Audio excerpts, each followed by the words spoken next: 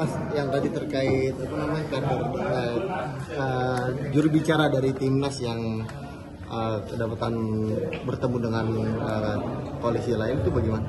Ya Pak Zulkifli Mansyah ya. Jadi Pak Zulkifli Mansyah kemarin secara internal sudah mengklarifikasi. Dia menghormati ajakan karena Pak Ganjar sedang berkunjung kan. Jadi beliau datang.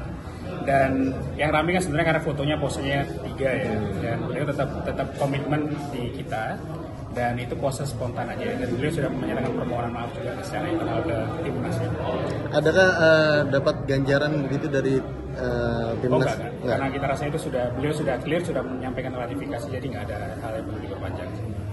Mas terkait tadi ini KPU akan mengumumkan Mas Pernyataan atau Timnas Amin sendiri seperti apa menanggapinya? Ya, jadi kan undangan sudah kami terima. Jadi eh, acara jam 2 tadi sekarang sedang berlangsung belum ada konfirmasi tentang hasil yang diumumkan dan yang hadir di kita tetap dari LO yang awal datang Ibu Nini, eh, Bu Nihayatul Wafiro dari PKB, lalu dari Deputi Formulasi Kebijakan yang hadir.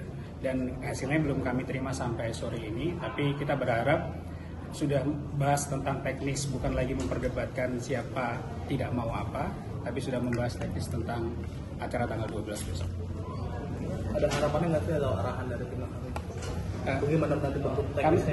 ya, kami merasakan sebenarnya yang pertama dari polemik yang kemarin kan eh, Timnas Amin merasa ada kekurang tegasan KPU terutama dalam jelas atau mengklarifikasi tentang polemik terus kemudian juga tentang eh, teknis-teknis yang lain yang akan ada di depan terutama yang kemarin sempat dipermasalahkan dipermasalahkan oleh TKN bahwa eh, apa namanya eh, cukup debat capres atau cawapres dan ketika cawapres capresnya hadir dan demikian. Tapi saya rasa kita sudah cukup di situ dan kita harus masuk ke perdebatan yang eh, atau diskusi yang substansi yang membahas tentang tema, tentang siapa panelis, siapa bagaimana durasi dan lain sebagainya. Jadi kita harap hasil yang keluar di pertemuan KPU sekarang tentang itu.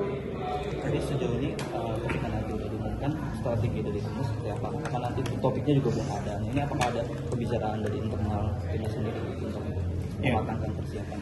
Kalau kalau eh, tema kan saya rasa sudah ditentukan ya debat pertama juga sudah ditentukan tapi apa pun nanti yang akan ditentukan oleh KPU terkait teknis tanggal 12 dan debat seterusnya kita siap Pak Anies, Gus Imin menyatakan kesiapannya apa pun yang akan disepakati dan saya rasa paslon yang lain pun juga sudah menyatakan kesiapannya kita hargai dan eh, kita tunggu sama-sama nanti teknisnya atau inovasi apa yang akan dihadirkan KPU di debat eh, nanti 12 dan seterusnya. Oke. Ada lagi debat-debat? Cukup ya? Cukup Mas Bir. Makasih Mas Bir. Ada ada topik lain teman-teman?